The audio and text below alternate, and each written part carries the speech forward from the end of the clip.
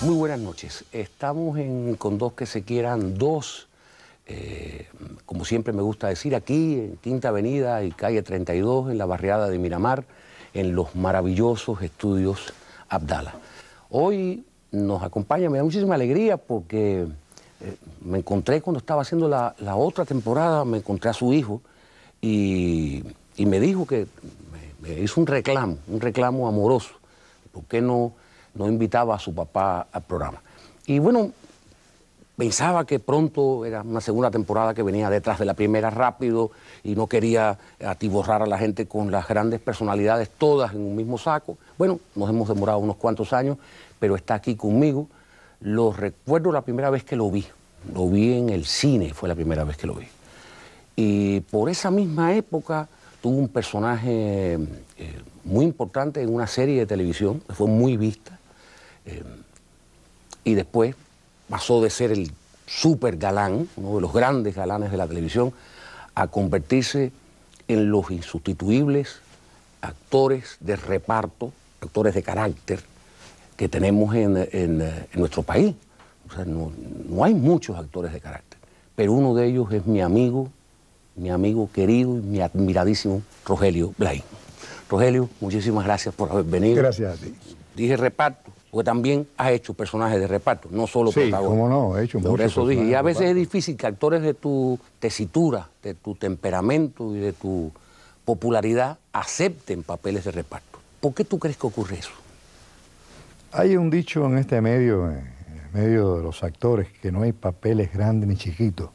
Lo que hay es un gran actor o una gran actriz. Yo he hecho pequeños papeles, sin embargo, han resultado muy buenos y han gustado muchísimo. Pero bueno, hay otra cosa que te tengo que decir. A veces, claro. a veces hay que aceptar un personaje de reparto porque, como se dice, hay que vivir, hay que comer, hay que mantener a la familia. Y esa es la cuestión, no es otra. No, porque muchas veces le da miedo, ¿no? A los grandes figuras. No, a, mí, a mí nunca me ha dado miedo. Yo te voy a decir una cosa. Yo hice Lucía siendo recluta del servicio militar obligatorio del SMO. Era un muchacho. Era, tenía 21 años, 22 años, no había cumplido 22 años todavía. Que me escogió. Humberto Solá. Humberto Solá. Uh -huh. Porque eran los festivales de, de, la FARC. Y entonces nosotros participamos en dos festivales de la FARC: en el Festival de, de la DAFAR uh -huh. Nacional y el Festival de la FARC Nacional. Y en los dos ganamos el primer premio. Porque esta era una obra que era Farsa y Justicia del señor corregidor, de Alejandro Casona, que yo le había hecho como aficionado en la tabaquería cuando era tabaquero. Y entonces, cuando a mí me llaman para el servicio, a mí siempre me gustó esta, esto de la, de la actuación. Cuando llego al servicio, en el tercer llamado entra un grupo de muchachos, entre ellos Manuel Porto y varios más, que hicieron un grupo de teatro. Y resulta que habían disuelto ese grupo. Y entonces el político me llama, me dice, como tú tienes experiencia y tú hiciste ya como aficionado una obra de teatro, coge ese grupo, los que quedaron ahí, ármalo y monta una obra. Y ahora vieron los festivales de la FARC. Entonces con Porto y Juan Julio Alfonso hicimos la obra. La dirigíamos Juan Julio Alfonso y yo. Fuimos al festival de la DAFAR, ganamos el primer premio. Eso fue aquí en Carlos Marx. Después fuimos al festival de la FAR en el García Lorca y ganamos el primer premio. Y entonces Humberto, que estaba en ese momento preparando Lucía, fue al Estado Mayor de las Fuerzas Armadas, porque creo que sepa que los festivales de la FARC eran, eran fuertes, eh, en grupos de música. Eh, y aficionados, de aficionados, aficionados, todos aficionados. aficionados eran fuertes, eran buenos, que muchos, bueno, muchos llegaron a ser profesionales después. Entonces fue a, a, al Estado Mayor y allí le dijeron, mira, vete a la unidad de Barbosa, vete allí que ese grupo ahí ha ganado dos premios. Y se apareció un día, le armamos la obra. Recuerdo que. Pero él estaba haciendo un casting. Sí, él estaba haciendo Pero un ustedes casting. no lo sabían. No, no lo sabía. Le armamos la obra, vio la obra y entonces a mí el, el, el político me dijo: él va a escoger dos de ustedes, pero no lo va a decir, me lo va a decir a mí. Y entonces, bueno, él vio la obra, ¿verdad? se fue. Como a la hora me llamó el político y dice: uno eres tú. Tú eres uno y el otro es Juan Julio Alfonso. Pero de los movimientos aficionados salieron actores muy importantes. Actores y músicos. Y músicos. Y músicos, muy buenos. Yo te digo que yo me emociono mucho porque yo tengo uno, un gran recuerdo de, de esa etapa mía, de cuando llegué al servicio. Que yo llegué al servicio militar, siendo tabaquero, asustado. Yo nunca le había separado a mi familia. Somos de origen campesino, mi familia es de origen campesino. ¿De dónde? ¿De dónde? De? Pinar del Río, De Pinar del de Río. San Cristóbal, de Aspiro, pero ahí de la cordillera, de la loma, no del pueblo. Nos nombramos con Chismoso y Quincay. Bueno, y vinimos para La Habana, y bueno, eso ya es otra historia. Sí, pero ¿a, a dónde vinieron en La Habana? En Bauta. A Bauta. Mi padre cuando vendió su finquita allá en, en Santa, en Aspiro, vino para Bauta. Pu- Puso una carnicería, se dedicó a la compra de ganado, lo sacrificaba con un matadero municipal, él se abastecía de carne y a su vez abastecía a otras carnicerías. Llegó a tener tres carnicerías y abastecer desde Caimito hasta aquí, hasta Almendares, por toda su periferia, Baracoa, Santa Fe, Jaimanita. Pero ya en ese momento entonces no era una, no era una familia humilde, sí, porque ya una persona Era una que- familia de, de clase media. Llegó a ser de clase media. Salieron de la- del la- Porque, porque hay una cosa muy, muy simpática. Cuando vinimos de Bauta, que vendió la carnicería y nos fuimos para San Susi, al fondo, al costado del cabaret San Susi, se compró un carro del año. Él ya tenía carro, pero era un año, dos años más viejo. No, aquí se compró un carro del año. Me acuerdo que fue un Bio 52 Super. Sanssouci está por ahí, pero está el, el hospital ¿no? Está por ahí, de los- exactamente. Un poco más adelante. Un poco más adelante. Más adelante. más adelante. Para situar a la gente. Y entonces, cuando a mí me llaman el servicio militar, había aquello de que los de La Habana lo llevaban para Santiago y los de Santiago lo traían para La Habana y los de La Habana llamaban Pinar del Río y los de Pinar Río para La Habana. Me llamaron, me acuerdo que me llamaron para la Tropical. Nos montaron en unos camiones y arrancamos. Digo, bueno, ¿y para dónde iremos ahora? Recuerdo que agarró y cuando pasó por frente lo que hoy día Fran País y los pies, yo vivo ahí, compadre. Yo vivo delante ahí. Pasé por frente de mi casa prácticamente, pero veo que dobla para la autopista y fuimos para Barbosa, que está a pie, son 20 minutos mi casa, a pie, 20 minutos mi casa. Aquellos primeros días en el servicio fueron, Sí, uno extraña, ¿no? Muchísimo. no, no, vaya, extrañaba a mi familia, extrañaba mi casa, extrañaba la salida al cine, porque yo era, yo era ratón de cine. Y los pases en aquella época se dilataban mucho entre una salida y la otra. No, no, no, no, o sea, cuando uno entraba al servicio era casi un mes sin salir. Tienen los, la previa, los 45 días, ¿no? Los 45 días, más de un mes, los 45 días. Y me acuerdo que un día viene y me dice, ¿quién es, eh, ¿quién es mecanógrafo aquí? Y digo, yo soy mejor. Porque más había estudiado secretaría comercial, tenía taquigrafía, mecanografía. Digo yo, se saca de la fila. Eso me sirvió para salir algunas veces a la calle, porque había, había que traducir, hacer, eh, pasar a máquina un libro de, de CAL 30 y nos llevaban aquí a, a la cabaña. Y entonces de la cabaña podíamos ir a la casa. Después viene otra vez, ¿quién es dibujante mecánico aquí? Digo, yo soy mecánico. Yo no era dibujante mecánico, pero había estudiado dibujo animado, sí, dibujo publicitario. O sea, tabaquero, taquígrafo, mecanógrafo, dibujante Y entonces empecé... y actor aficionado. Ah, eso me sirvió también. Eh, yo salía a vanguardia toda la semana, todos los meses de vanguardia. Porque además yo, yo me considero una gente disciplinada, Tú eres muy disciplinado, por eso has llegado donde has llegado, Rogel. muy disciplinado. Entonces decía, bueno, si tengo que estar aquí. Además, ya después no fue tan malo. Me di cuenta que no fue tan malo. No, lo malo era la lejanía. Sí. No, pero es que no La estaba- lejanía que ni siquiera llegó a ser tan física porque estabas a 20 minutos. Sí, ni siquiera. La comida era maravillosa, creo que sepa. ¿Y tenías novia en esa época tú? Tenías ya tu Sí, noviecita. tenía mis noviecitas. Pero alguna que te, que, te, es, que te rompe el corazón cuando estás lejos. Estás en la unidad y estás por Mira, la noche mira, yo pensando. an- antes de ir Yo no hice el servicio, pero tuve becado, o sea, sé lo que. Antes de ir para el servicio, eh, yo tuve una novia que era así.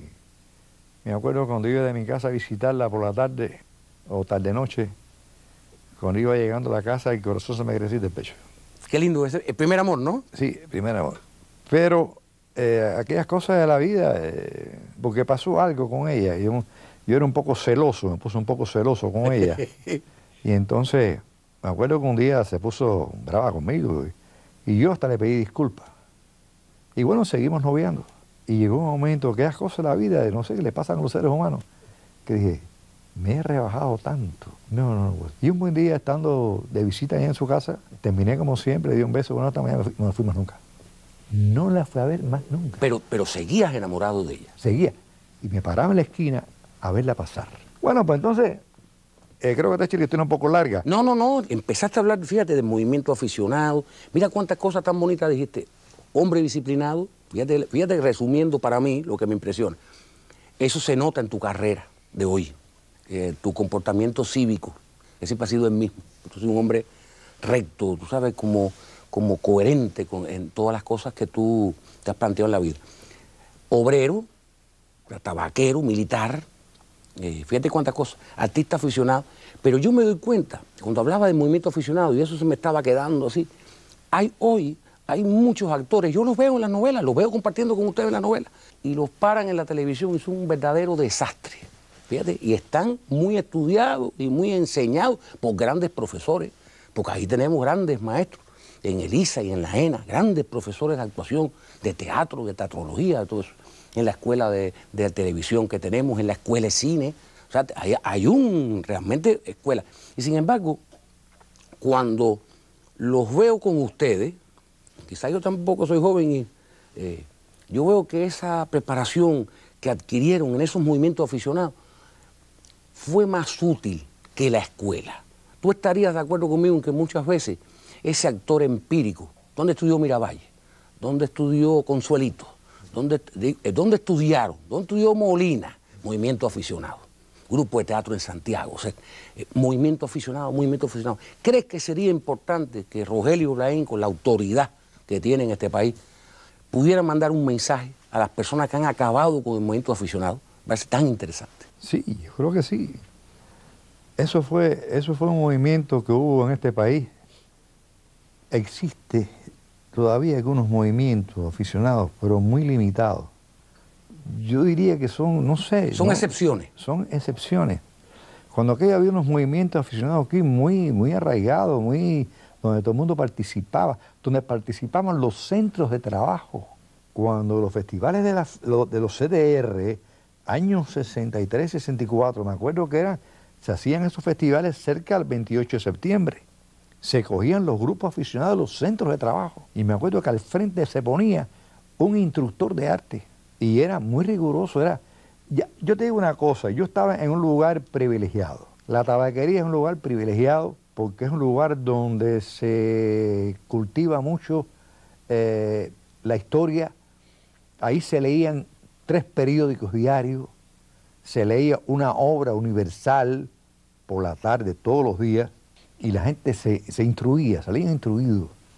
Los, los tabaqueros eran gente instruida. Los lectores de Bueno, es que, es que armar un buen tabaco es, una obra de arte también. Era gente instruida, además, gente muy politizados.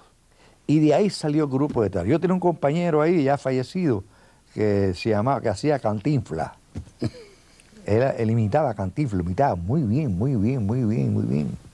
Alexis Guzmán, que era tabaquero, que fue el que me embuyó, me dijo, Lain, ah, porque yo a veces incursionaba en el ICAI como extra. Me acuerdo que en Soy Cuba, la que hizo el sí, como no, el soviético, y Enrique Pineda Bané estaba ahí también trabajando con él. Porque me apunté ahí como extra, me llamaron, participé. Y dice, ay, como a ti te gusta eso, eh, mira, se va a hacer una obra de teatro, se está haciendo una obra de teatro para representar a Ciudad de La Habana por los CDR. ¿tú quieres participar? Y yo le dije, sí, sí, cómo no, no.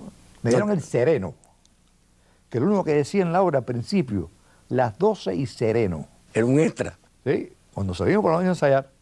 Y entonces yo hice eso de las noches y me dice el, instructor, de, ven acá, ven acá, ven acá muchacho, ven acá, ¿Tú te atreves a hacer el cazador? Yo le dije, sí, eh, no sé, no, toma, léalo ahí. Dije, tú vas a ser cazador. Yo me ericé, ¿no? Bueno, hicimos, hice el cazador. Y bueno, fue que he ganado el primer premio con los CDR. Y después en, la FAR, los grupos de aficionados de la FAR eran muy, muy constantes. Además, había mucha disciplina. Claro, la disciplina militar. Sí, bueno, en la FAR no te queda más remedio que ser disciplinado. Claro. Eh, éramos un grupo de teatro, un grupo de, gente que, vaya, eh, estábamos, no estábamos. Eh, y eso es lo que le pasa a veces a los muchachos jóvenes ahora que salen de la ENA y que salen de LISA, que a veces piensan que ya tienen ya, ya llegaron. Yo creo que yo todavía con 47 años de trabajo en la televisión, en el cine, yo todavía no he llegado. Creo que no he llegado todavía. Tú sabes que llegaste, porque entre otras cosas llegaste al corazón de las personas, que es una manera de llegar. Pero bueno, eh, la obra mía, la obra que yo a veces he soñado, todavía, me parece que no la he hecho todavía. Sí, pero tú me hablas, por ejemplo, tú me hablaste al principio, fíjate, para irlo retomando, tú me hablaste de Lucía. Sí. Yo quiero que tú me cuentes esa escena donde está Flora Lauten, que está fabulosa eh, en esa. Esa escena es, está la turbación de, de, de Slinda, está aquella borrachera en aquellas mesas. Es, es- es, por lo menos para mí, es, es tu gran momento en la película. ¿Bebieron de verdad? ¿No Sí, bebieron de sí, verdad? hubo, sí, sí hubo, no. No Vaya, hasta el límite, no, no como se ve en la película, o sea, no, hasta ahí. No al límite. Yo siempre tuve esa, esa precaución, porque además, según los estudios de, de la academia, uno- el actor tiene que pensar que está actuando, que no es la realidad. Entonces tú tienes que tener una parte, es decir, en el caso de Ron, tienes que tomar Ron hasta aquí, Sí. hasta aquí, no hasta aquí, hasta aquí, para que te ayude un poco y el otro tienes que ponerlo tú. Pero sí, nos dieron ron de verdad. Me acuerdo que llegamos a, eso se hizo en el Mariel, en un bar que había, un restaurante bar que había ahí, que por eso se cerró para esto.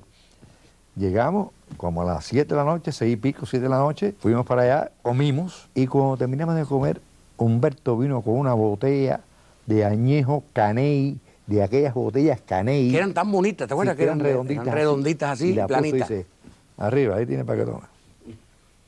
Yo no tomaba cuando veo. Yo tomaba una cerveza, un, ron, un refresco, pero si acaso un highball. Bueno, me tomé un traguito, ¿no? y todo el mundo empezamos ahí un traguito. ¿no? Después vino un café hasta que a las 12 de la noche, y dije, bueno, vamos a empezar a filmar ahora. Es decir, que no hubo esa borrachera. ¿Y cuándo llega aquel momento donde empieza tu popularidad televisiva con Móvil 8? Mira, terminando Lucía voy para el ICR y llego al ICR el 4 de agosto del año 67. Habíamos terminado Lucía allá, allá en Cienfuegos y veníamos para La Habana a terminar en La Habana. Y cuando llego aquí a La Habana, oye, te llamo fulano del Estado Mayor que lo llame. Cuando lo llame dice, Blaín, aquí hay una lista de actores aficionados de la FARC que tienen que presentarse el día 4 de agosto en el ICR, en el tercer piso. Y tú estás en la lista. Así que arranca para allá. Digo, "Espera, espera, espera, pues arranca para allá, yo soy guardia. Y después llegaron los demás, llegamos a ser 35, entre ellos Porto, eh, Serafín García, Agustín Benítez, ya fallecido, y otros tantos, un grupo. Y nos llegamos a quedar siete nada más, porque hicimos, pasamos a escuela. Pasamos a escuela con Raquel y otras tantas personas. Entonces, estando ahí en el ICR, nosotros entramos como grupo, como grupo de acción para montar a caballo, fajano, a la espada. Me acuerdo que nos pusieron a Penabella de, de profesor de esgrima.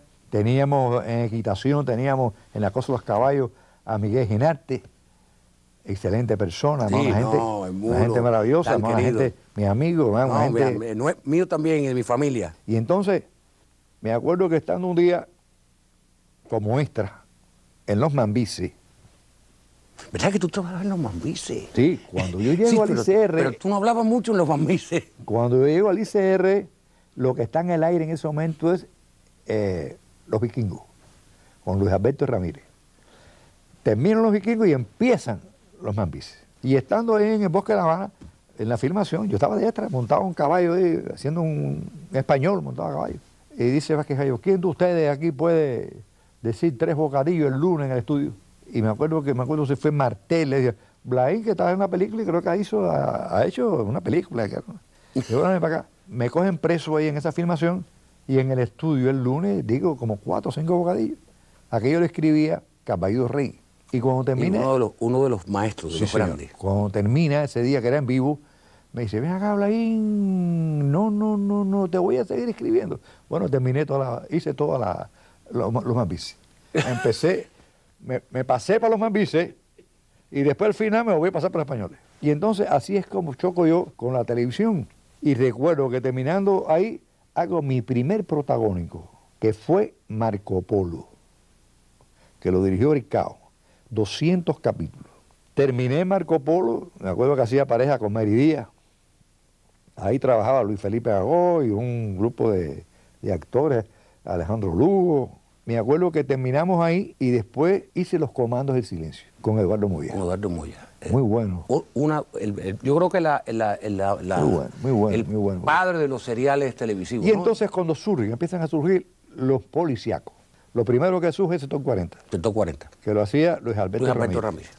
Y entonces al comandante Seguera, que en ese momento era presidente del ICR, se le ocurrió, vamos, algo también de la, del DTI, de la cosa común, y surge 8. Y entonces a mí me ponen a hacer el jefe, es decir, el, oficial, que se llamó Alejandro, el teniente Alejandro, que tengo grandes recuerdos porque gustaba mucho los policíacos, porque además eran casos reales. Y yo era un muchacho y a mí me gustaba muchísimo. Era una afirmación donde Ramoncito Boló hacía un delincuente y yo tenía que ir a cogerlo preso. Eso fue ahí por la terminal de ómnibus, de trenes. Y entonces él se me redira y nos enredamos a la, yo vestido de policía, de teniente, y en eso venía una guagua con un policía dentro y el policía se bajó con la pistola en la mano porque, coño, se está fajando el policía, con nadie se mete, porque se veía todo el mundo alrededor y nadie se metía.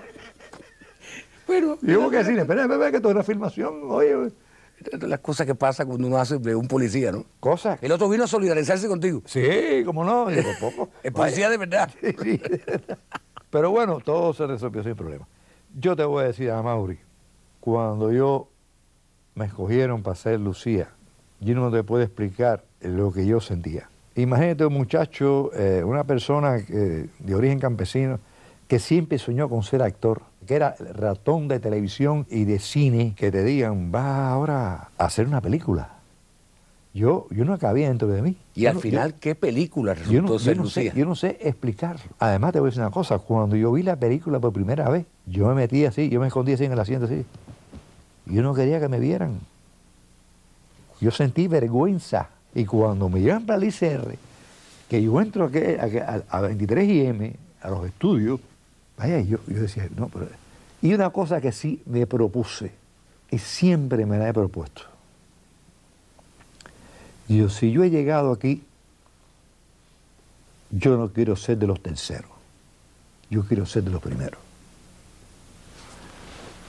Y me costó mucho esfuerzo y sobre todo, como dijo ahorita, mucha disciplina. Claro, había un rigor, había rigor, ah, había un rigor. Últimamente el rigor se ha perdido un poco y la disciplina también se ha perdido un poco.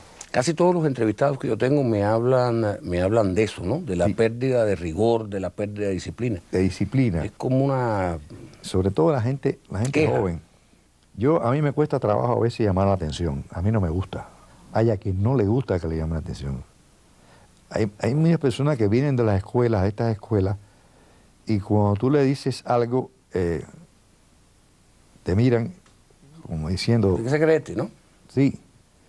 No todos, la verdad que no todos, pero se han dado caso. Y a mí no me gusta que eso me suceda, de verdad. Bueno, hay personajes, hay personajes que marcan a la gente y uno es el Lucio Contreras de, Tierra Brava. Yo creo que Tierra Brava, junto con Sol de Batey, recuerdo Sol de Batey también, son ese tipo de novelas que lograron competir de tú a tú con la novela extranjera, ¿no? Y a veces hasta superar la audiencia. Sí. Un libreto extraordinario de Dora y un elenco que Xiomara Blanco escogió, realmente esa cosa que escogen los personajes. Recuerdo el, matrimonio de, Molina con, con, Alina, con Alina, con Alina Rodríguez, que es una actriz tremenda. Estaba, eh, bueno, ni hablar, Jacqueline Arenal, este, la Tojosa. Enrique Almirante. Enrique Almirante. No, no, no, había un elenco ahí, la verdad que fue maravilloso. Y la gente te recuerda mucho de esa, de, ese, ese papel de, ¿no? de Lucio Contreras, el hombre dictatorial, pero a la vez fanatizado con suya, pero un buen padre. Es un tipo truculento. Personajes que estaban muy bien diseñados. ¿Cuál es el recuerdo que tú tienes de ese personaje? El recuerdo que tengo de ese personaje es que me trajo mucha mucha satisfacción. Y donde quiera que llegábamos, llegaban a muchos lugares y a los muchachos les preguntaban, muchachos de niños de 7, 8 años, 5, 6, 7 años, que cuál era el personaje que más le gustaba de la telenovela. Y todos decían, Lucio Contreras. Me acuerdo que, eh, esto decía, ¿por qué Lucio? Si Lucio es el malo. Dice, no, Lucio Contreras, ¿qué le gustaba? Y tampoco eh, era tan malo. No, era, era lo bueno que tenía él. No era malo, él, él, él lo que había, había, había pasado mucho, se había sentido, eh, se sintió utilizado por su propia mujer, que fallece al principio de la novela, y era un poco que estaba dolido con eso. Asumió esa actitud un poco como para autodefensa del mismo. Pero no era malo, no... No, por eso decía que son, que son personajes como que te marcan. Yo, yo estoy tratando de ya de ir enfilando, el, el, rumbando el final, pero me faltan algunos temas que son muy importantes.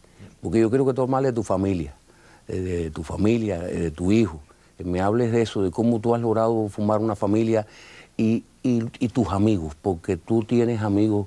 Una de las cosas que se dice cuando uno habla de ti, no sé, cualquier lugar que uno se sienta, todo el mundo te dice, un gran actor, pero automáticamente dice, una gran persona.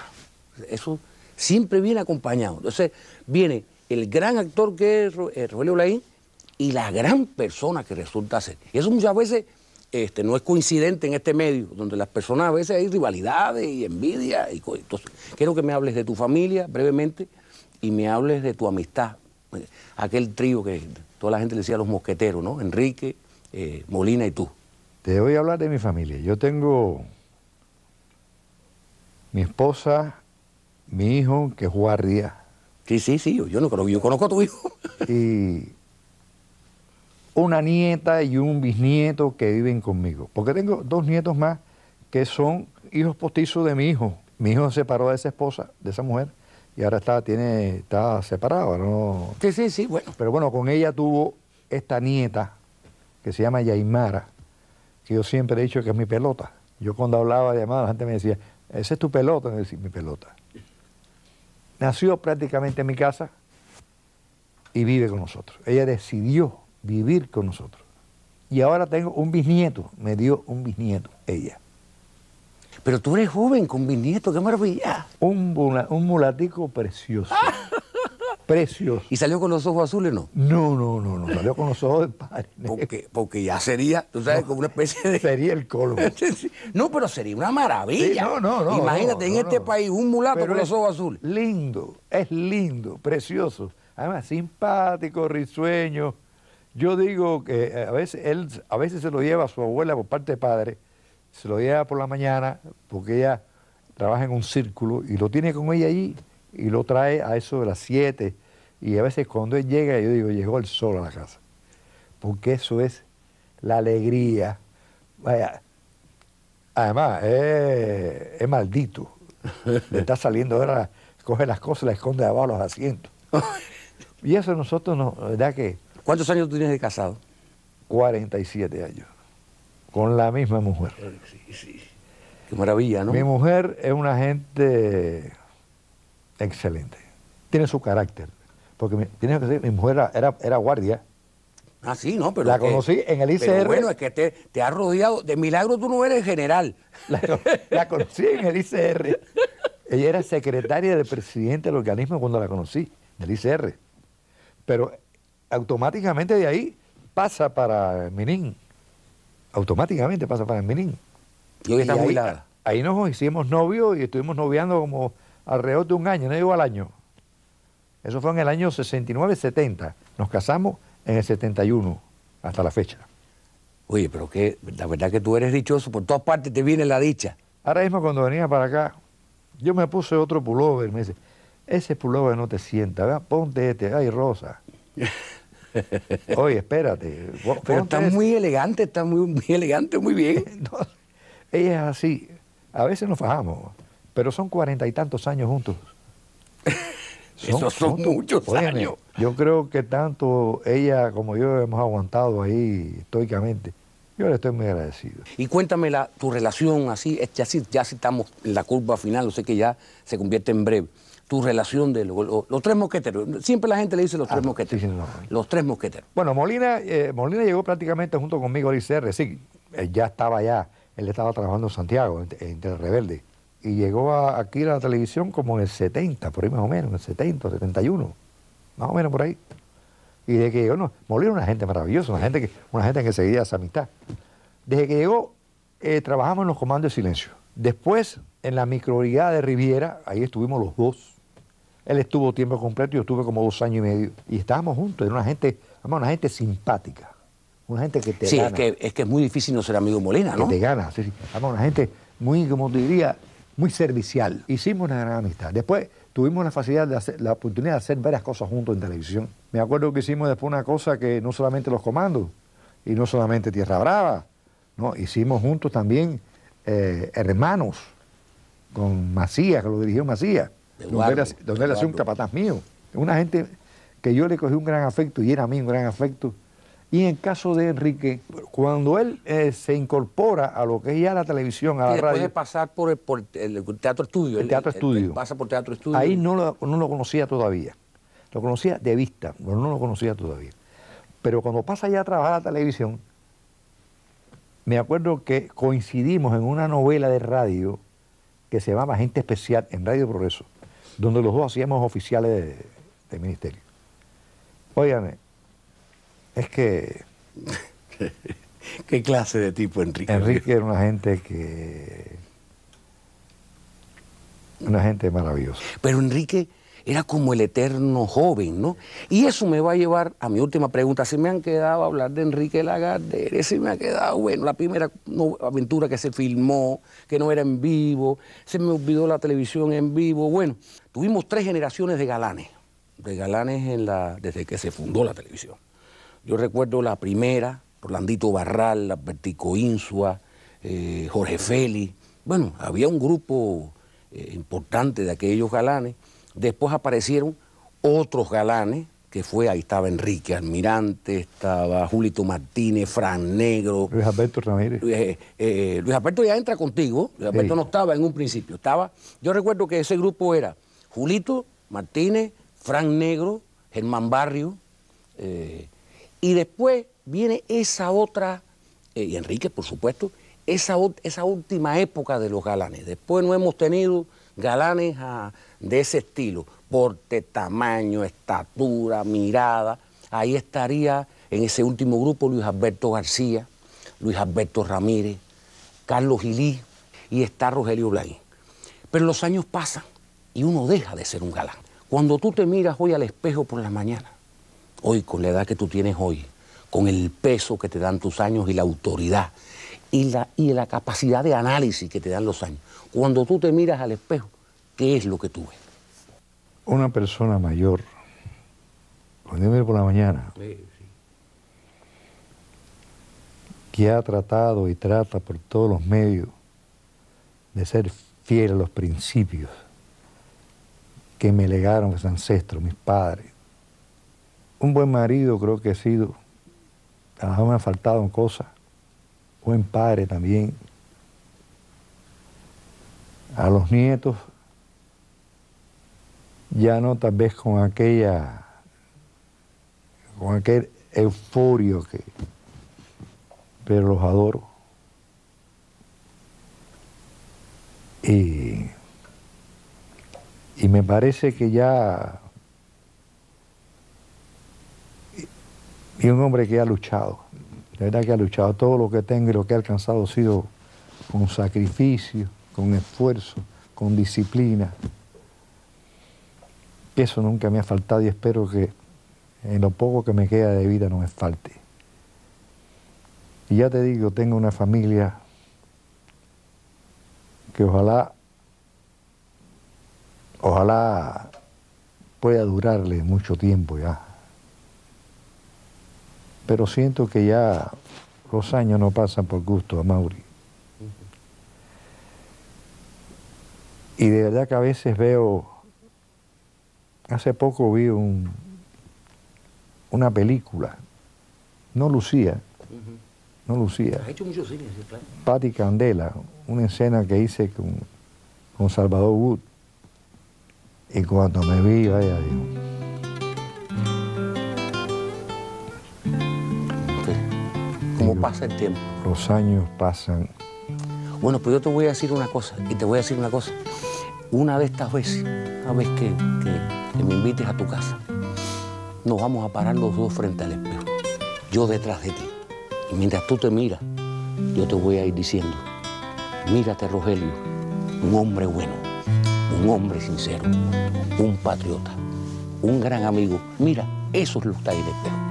La belleza se la lleva el viento. El alma va directamente hacia donde está Dios. Muchas gracias. Qué bueno que tuve la oportunidad de vivir tu tiempo, tu época y de que estuvieras en el programa conmigo. Te quiero mucho.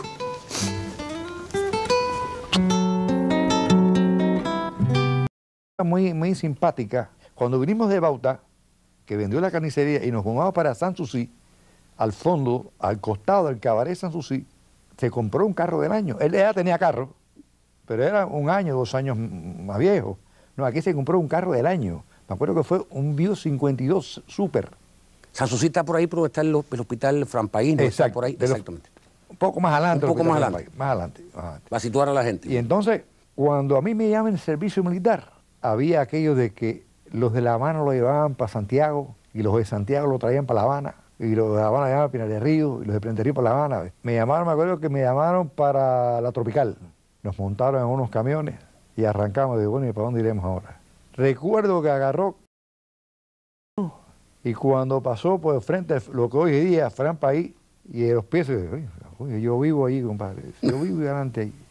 Pasé por frente de mi casa prácticamente, pero veo que dobla para la autopista y fuimos para Barbosa, que está a pie, son 20 minutos mi casa, a pie, 20 minutos mi casa.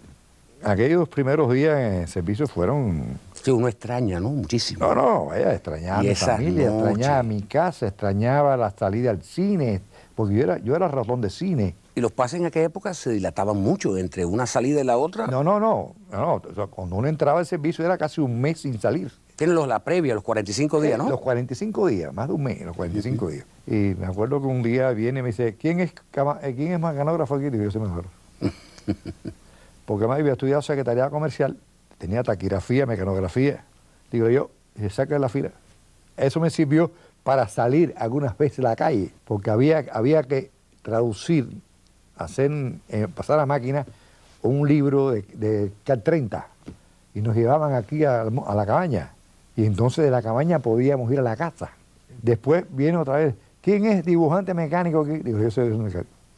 Yo no era dibujante mecánico, pero había estudiado dibujo animado, es decir, dibujo publicitario. Sea, tabaquero, taquígrafo, mecanógrafo, dibujante Y entonces empecé... y actor aficionado. Ah, eso me sirvió también. Eh, yo salía a vanguardia toda la semana, todos los meses de vanguardia. Porque además yo, yo me considero una gente disciplinada, Tú eres muy disciplinado, por eso has llegado donde has llegado, Rogelio. muy disciplinado. Entonces decía, bueno, si tengo que estar aquí. Además, ya después no fue tan malo. Me di cuenta que no fue tan malo. No, lo malo era la lejanía. Sí. No, pero es que no La estaba- lejanía que ni siquiera llegó a ser tan física porque estabas a 20 minutos. Sí, ni siquiera. La comida era maravillosa, creo que sepa.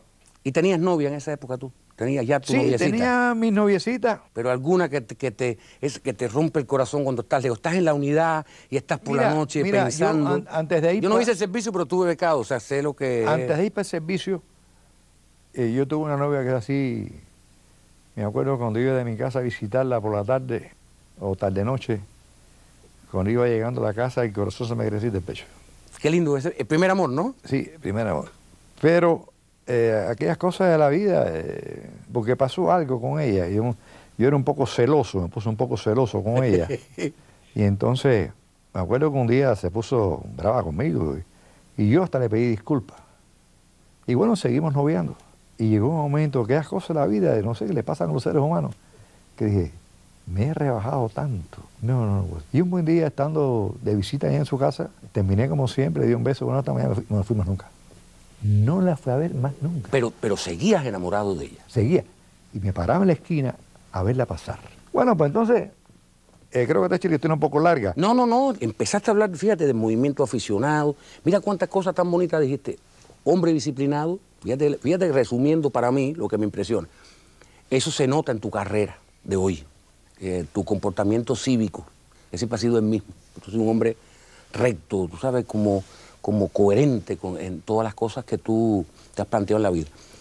Obrero, tabaquero, militar, eh, fíjate cuántas cosas, artista aficionado, pero yo me doy cuenta, cuando hablaba del movimiento aficionado, y eso se me estaba quedando así, hay hoy, hay muchos actores, yo los veo en las novelas, los veo compartiendo con ustedes en las novelas, y los paran en la televisión son un verdadero desastre. Fíjate, y están muy estudiados y muy enseñados por grandes profesores, porque ahí tenemos grandes maestros, en Elisa y en la ENA, grandes profesores de actuación, de teatro, de teatrología, de todo eso, en la escuela de, televisión que tenemos, en la escuela de cine, o sea, hay, un realmente escuela. Y sin embargo, cuando los veo con ustedes, quizás yo tampoco soy joven y eh, yo veo que esa preparación que adquirieron en esos movimientos aficionados fue más útil que la escuela. Tú estarías de acuerdo conmigo en que muchas veces ese actor empírico, ¿dónde estudió Miravalle? ¿Dónde estudió Consuelito? ¿Dónde, eh, ¿dónde estudiaron? ¿Dónde estudió Molina? Movimiento aficionado. Grupo de teatro en Santiago. Eh, movimiento aficionado, movimiento aficionado. ¿Crees que sería importante que Rogelio Blaín, con la autoridad que tiene en este país, pudiera mandar un mensaje a las personas que han acabado con el movimiento aficionado? A ser tan interesante. Sí, yo creo que sí. Eso fue, eso fue un movimiento que hubo en este país. Existe todavía algunos movimientos aficionados, pero muy limitados. Yo diría que son, no sé. Son excepciones. Son excepciones. Cuando aquí había unos movimientos aficionados aquí muy, muy arraigados, muy, donde todo el mundo participaba, donde participaban los centros de trabajo.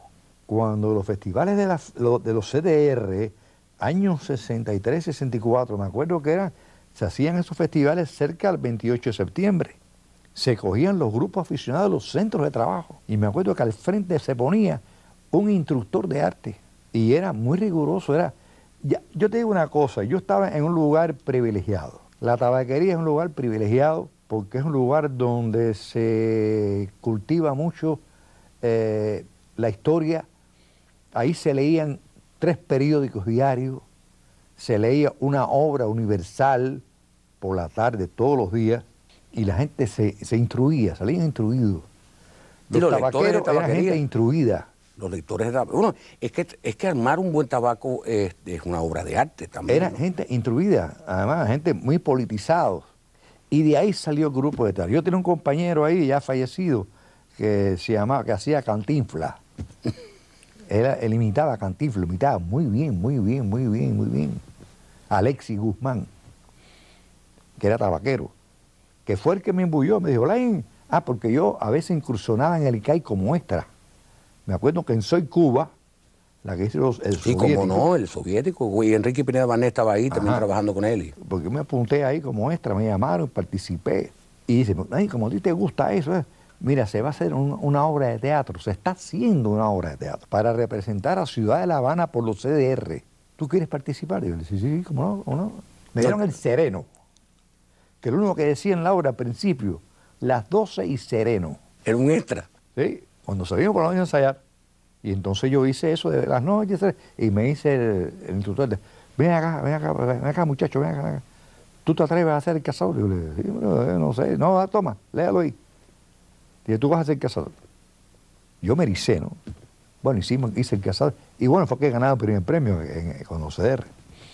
Y después en, la FAR, los grupos de aficionados de la FAR eran muy, muy constantes. Además, había mucha disciplina. Claro, la disciplina militar. Sí, bueno, en la FAR no te queda más remedio que ser disciplinado. Claro. Eh, éramos un grupo de teatro, un grupo de, gente que, vaya, eh, estábamos, no estábamos eh, y eso es lo que le pasa a veces los muchachos jóvenes ahora que salen de la ENA y que salen de LISA, que a veces piensan que ya tienen ya, ya llegaron. Yo creo que yo todavía con 47 años de trabajo en la televisión, en el cine, yo todavía no he llegado. Creo que no he llegado todavía. Tú sabes que llegaste, porque entre otras cosas llegaste al corazón de las personas, que es una manera de llegar. Pero bueno, eh, la obra mía, la obra que yo a veces he soñado, todavía, me parece que no la he hecho todavía. Sí, pero tú me hablas, por ejemplo, tú me hablaste al principio, fíjate, para irlo retomando, tú me hablaste de Lucía. Sí. Yo quiero que tú me cuentes esa escena donde está Flora Lauten, que está fabulosa eh, en esa. Esa escena es, está la turbación de, de, Linda, está aquella borrachera en aquellas mesas. Es, por lo menos para mí, es, es tu gran momento en la película bebieron de verdad no Sí, bebieron de sí, verdad. hubo, sí, sí hubo, no. No hasta el límite, no, no como se ve en la película, o sea, no, hasta ahí. No al límite. Yo siempre tuve esa, esa precaución, porque además, según los estudios de, de la academia, uno- el actor tiene que pensar que está actuando, que no es la realidad. Entonces tú tienes que tener una parte, es decir, en el caso de ron, tienes que tomar ron hasta aquí, Sí. hasta aquí, no hasta aquí, hasta aquí, para que te ayude un poco y el otro tienes que ponerlo tú. Pero sí, nos dieron ron de verdad. Me acuerdo que llegamos a, eso se hizo en el Mariel, en un bar que había, un restaurante bar que había ahí, que por eso se cerró para esto. Llegamos como a las 7 de la noche, 6 y pico, 7 de la noche, fuimos para allá, comimos y cuando terminamos de comer, Humberto vino con una botella de añejo caney, de aquellas botellas caney. Que eran tan bonitas, ¿te acuerdas? Sí, que eran redonditas, eran redonditas así, y planitas. dice, arriba, ahí tiene para que tome. Yo no tomaba cuando veo. Yo tomaba una cerveza, un, ron, un refresco, pero si acaso un highball. Bueno, me tomé un traguito, ¿no? y todo el mundo empezamos ahí un traguito. ¿no? Después vino un café hasta que a las 12 de la noche, y dije, bueno, vamos a empezar a filmar ahora. Es decir, que no hubo esa borrachera. ¿Y cuándo llega aquel momento donde empieza tu popularidad televisiva con Móvil 8? Mira, terminando Lucía voy para el ICR y llego al ICR el 4 de agosto del año 67. Habíamos terminado Lucía allá, allá en Cienfuegos y veníamos para La Habana a terminar en La Habana. Y cuando llego aquí a La Habana, oye, te llamo fulano del Estado Mayor que lo llame. Cuando lo llame dice, Blaín, aquí hay una lista de actores aficionados de la FARC que tienen que presentarse el día 4 de agosto en el ICR, en el tercer piso. Y tú estás en la lista. Así que arranca para allá. Digo, "Espera, espera, espera, pues arranca para allá, yo soy guardia. Y después llegaron los demás. Llegamos a ser 35, entre ellos Porto, eh, Serafín García, Agustín Benítez, ya fallecido, y otros tantos, un grupo. Nos llegamos a quedar siete nada más. Porque hicimos, pasamos a escuela. Pasamos a escuela con Raquel y otras tantas personas. Entonces, estando en el ICR, nosotros entramos como grupo, como grupo de acción para montar a caballo, fajarnos, a la espada. Me acuerdo que nos pusieron a Penabella de, de profesor de esgrima. Teníamos en equitación, teníamos en la cosa de los caballos a Miguel Ginarte, excelente persona, ¿no? Sí, una, gente, no, una gente maravillosa, ¿no? una gente, mi amigo, ¿no? una gente... no es mío también de mi familia. Y entonces, me acuerdo que estando un día como extra en los Mambises, ¿Verdad que tú trabajabas en los mambises? sí, cuando yo llego Sí, al pero, ICR, pero tú no hablabas mucho en los mambises. Cuando yo llego al ICR, lo que está en el aire en ese momento es eh, los vikingos, con Luis Alberto Ramírez. Terminan los vikingos y empiezan los mambises. Y estando ahí en el bosque de La Habana, en la filmación, yo estaba de extra, montado un caballo ahí, haciendo un español, montado a caballo. Y dice Vázquez Jayo, ¿quién de ustedes aquí puede decir tres bocadillos el lunes en el estudio? Y me acuerdo que me acuerdo si fue Martel, le dije, Blaín, que estaba en una película y creo que hizo, ha, ha hecho una película. yo, "Ven para acá. Me cogen preso ahí en esa filmación y en el estudio el lunes digo como cuatro o cinco bocadillos. Aquello le escribía Caballo Rey. Y cuando Y termina, uno, de los, uno de los maestros, de Sí, los grandes. Cuando termina ese día que era en vivo, me dice, ven acá, Blaín, no, no, no, no, te voy a seguir escribiendo. Bueno, terminé toda la, hice toda la, los, los más bici. Empecé, me, pasé para los bici y después al final me voy a pasar para los españoles. Y entonces así es como choco yo con la televisión. Y recuerdo que terminando ahí, hago mi primer protagónico, que fue Marco Polo, que lo dirigió Ricao. 200 capítulos. Terminé Marco Polo, me acuerdo que hacía pareja con Mary Díaz. Ahí trabajaba Luis Felipe Agó y un grupo de, de actores, Alejandro Lugo. Me acuerdo que terminamos ahí y después hice los comandos del silencio con Eduardo Moya. Con Eduardo Moya. Eh, Muy bueno. Una, el- el- yo creo que la, la- la- la- Muy bueno, muy bueno, el muy bueno. padre de los seriales televisivos. Y ¿no? entonces cuando surgen, empiezan a surgir los policíacos. Lo primero que surge es el Top 40, Sector 40. que lo hacía Luis Alberto, Luis Alberto Ramírez. Ramírez. Y entonces al comandante Cerquera, que en ese momento era presidente del ICR, se le ocurrió, vamos, algo de, de- también de la, de- del DTI, de la cosa común, ¿eh? Y surge 8. Y entonces a mí me ponen a hacer el jefe, es decir, el, el oficial, que se llamó Alejandro, el teniente Alejandro, que tengo grandes recuerdos porque gustaba mucho los policíacos, porque además eran casos reales. Y yo era un muchacho y a mí me gustaba muchísimo. Era una afirmación donde Ramoncito Bolívar hacía un delincuente y yo tenía que ir a cogerlo preso. Eso fue ahí por la terminal de ómnibus, de trenes. Y entonces él se me revira y nos enredamos a la... Yo vestido de policía, de teniente, y en eso venía una guagua con un policía dentro y el policía se bajó con la pistola en la mano porque, coño, se está fajando policía, con nadie se mete, porque se veía todo el mundo alrededor y nadie se metía. Bueno, y hubo que decirle, espera, espera, que esto es una filmación, oye. Las cosas que pasan cuando uno hace de un policía, ¿no? Cosas. El otro vino a solidarizarse contigo. Sí, cómo no. poco. el policía de verdad. Sí, sí. Pero bueno, todo se resolvió sin problema. Yo te voy a decir a Mauri, cuando yo me escogieron para ser Lucía, yo no te puedo explicar lo que yo sentía. Imagínate un muchacho, eh, una persona de origen campesino, que siempre soñó con ser actor, que era ratón de televisión y de cine, que te digan, va ahora a hacer una película. Yo, yo no cabía dentro de mí. Y al final, ¿qué película resultó ser Lucía? yo no sé explicarlo. Además, te voy a decir una cosa, cuando yo vi la película por primera vez, yo me metí así, yo me escondí así en el asiento así. Yo no quería que me vieran. Yo sentí vergüenza. Y cuando me llevan para el ICR, que yo entro a, a, 23 IM, a los estudios, vaya, yo, yo decía, no, pero... Y una cosa que sí me propuse, y siempre me la he propuesto. yo, si yo he llegado aquí, yo no quiero ser de los terceros, yo quiero ser de los primeros. Y me costó mucho esfuerzo y sobre todo, como dijo ahorita, mucha disciplina. Claro, había un rigor, había rigor, eh, había un rigor. Últimamente el rigor se ha perdido un poco y la disciplina también se ha perdido un poco. Casi todos los entrevistados que yo tengo me hablan, me hablan de eso, ¿no? De la pérdida de rigor, de la pérdida de disciplina. De disciplina. Es como una... Sobre todo la gente, la gente joven. Yo, a mí me cuesta trabajo a veces llamar la atención. A mí no me gusta. Hay a quien no le gusta que le llamen la atención. Hay, muchas personas que vienen de las escuelas, de estas escuelas, y cuando tú le dices algo, eh, te miran como diciendo... ¿Qué se cree este, no? Sí.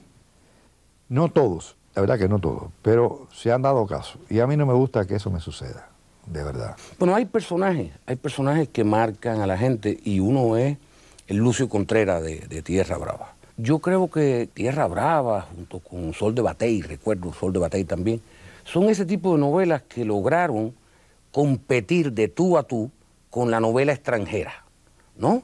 Y a veces hasta superar la audiencia. Sí. Un libreto extraordinario de Dora y un elenco que Xiomara Blanco escogió, realmente esa cosa que escogen los personajes. Recuerdo el, matrimonio de, Molina con, con, Alina, con Alina, con Alina Rodríguez, que es una actriz tremenda. Estaba eh, bueno, ni hablar, Jacqueline Arenal, este, La Tojosa. Enrique Mirante. Enrique. No, no, no, había un elenco ahí, la verdad que fue maravilloso. Y la gente te recuerda mucho de esa, de, ese, ese papel, de, ¿no? de Lucio Contreras, el hombre dictatorial, pero a la vez fanatizado con suya, pero un buen padre. Es un tipo truculento. Personajes que estaban muy bien diseñados. ¿Cuál es el recuerdo que tú tienes de ese personaje? El recuerdo que tengo de ese personaje es que me trajo mucha, mucha satisfacción. Y donde quiera que llegábamos, llegaban a muchos lugares y a los muchachos les preguntaban, muchachos de niños de 7, 8 años, 5, 6, 7 años, que cuál era el personaje que más le gustaba de la telenovela. Y todos decían Lucio Contreras. Me acuerdo que eh, esto decía, ¿por qué Lucio? Si Lucio es el malo. Dice, no, Lucio Contreras, ¿y qué le gustaba? Y tampoco eh, era tan malo. No, era, no era, lo malo, bueno que tenía él. No era malo, él, él... Muy buenas noches. Estamos en Con Dos que se quieran dos, eh, como siempre me gusta decir, aquí en Quinta Avenida y calle 32, en la barriada de Miramar, en los maravillosos estudios Abdala. Hoy nos acompaña, me da muchísima alegría porque eh, me encontré cuando estaba haciendo la, otra temporada, me encontré a su hijo y, me dijo que me, hizo un reclamo, un reclamo amoroso, ¿por qué no, no invitaba a su papá al programa? Y bueno, pensaba que pronto era una segunda temporada que venía detrás de la primera rápido y no quería atiborrar a la gente con las grandes personalidades todas en un mismo saco. Bueno, nos hemos demorado unos cuantos años, pero está aquí conmigo. Lo recuerdo la primera vez que lo vi. Lo vi en el cine, fue la primera vez que lo vi. Y por esa misma época tuvo un personaje eh, muy importante en una serie de televisión, que fue muy vista. Eh, y después pasó de ser el super galán, uno de los grandes galanes de la televisión, a convertirse en los insustituibles actores de reparto, actores de carácter que tenemos en, nuestro país. O sea, no, hay muchos actores de carácter, pero uno de ellos es mi amigo, mi amigo querido y mi admiradísimo Rogelio Blain. Rogelio, muchísimas gracias por haber venido. Gracias a ti. Dije reparto, porque también has hecho personajes de reparto, no solo sí, cómo no, he hecho Por eso dije, y a veces es difícil que actores de tu tesitura, de tu temperamento y de tu popularidad acepten papeles de reparto. ¿Por qué tú crees que ocurre eso? Hay un dicho en este medio, en el medio de los actores, que no hay papeles grandes ni chiquitos. Lo que hay es un gran actor o una gran actriz. Yo he hecho pequeños papeles, sin embargo, han resultado muy buenos y han gustado muchísimo pero bueno, hay otra cosa que te tengo que decir. A veces, a veces hay que aceptar un personaje de reparto porque, como se dice, hay que vivir, hay que comer, hay que mantener a la familia. Y esa es la cuestión, no es otra. No, porque muchas veces le da miedo, ¿no? A los grandes figuras. a, mí, a mí nunca me ha dado miedo. Yo te voy a decir una cosa. Yo hice Lucía siendo recluta del servicio militar obligatorio del SMO. Era un muchacho. tenía 21 años, 22 años, no había cumplido 22 años todavía. Que me escogió. Humberto Solá. Humberto Solá. Porque eran los festivales de, la FARC. Y entonces nosotros participamos en dos festivales de la FARC, en el festival de, de la DAFAR Nacional y el festival de la FARC Nacional. Y en los dos ganamos el primer premio. Porque esta era una obra que era Farsa y Justicia del señor corregidor, de Alejandro Casona, que yo le había hecho como aficionado en la tabaquería cuando era tabaquero. Y entonces, cuando a mí me llaman para el servicio, a mí siempre me gustó esta, esto de la, actuación. Cuando llego al servicio, en el tercer llamado entra un grupo de muchachos, entre ellos Manuel Porto y varios más, que hicieron un grupo de teatro. Y resulta que habían disuelto ese grupo. Y entonces el político me llama, me dice, como tú tienes experiencia y tú hiciste ya como aficionado una obra de teatro, coge ese grupo, los que quedaron ahí, ármalo y monta una obra. Que ahora vieron los festivales de la FAR. Entonces con Porto y Juan Julio Alfonso hicimos la obra. La dirigíamos Juan Julio Alfonso y yo. Fuimos al festival de la DAFAR, ganamos el primer premio. Eso fue aquí en el Carlos Marx. Después fuimos al festival de la FAR en el García Lorca y ganamos el primer premio. Y entonces Humberto, que estaba en ese momento preparando Lucía, fue al Estado Mayor de las Fuerzas Armadas, porque creo que sepa que los festivales de la FARC eran, eran fuertes, en grupos de música. y aficionados, de aficionados, todos aficionados. Los aficionados eran fuertes, eran buenos, que muchos, muchos llegaron a ser profesionales después. Entonces fue al Estado Mayor y allí le dijeron, mira, vete a la unidad de Barbosa, vete allí que ese grupo ahí ha ganado dos premios. Y se apareció un día, le armamos la obra. Recuerdo que... Pero él estaba haciendo un casting. Sí, él estaba haciendo Pero ustedes no lo sabían. No, no lo sabía. Le armamos la obra, vio la obra y entonces a mí el, político me dijo, él va a escoger dos de ustedes, pero no lo va a decir, me lo va a decir a mí. Y entonces, bueno, él vio la obra, se fue, como la obra me llamó el político, dice, uno eres tú, tú eres uno y el otro es Juan Julio Alfonso. Pero de los movimientos aficionados salieron actores muy importantes. Actores y músicos. Y músicos. Y músicos, muy buenos.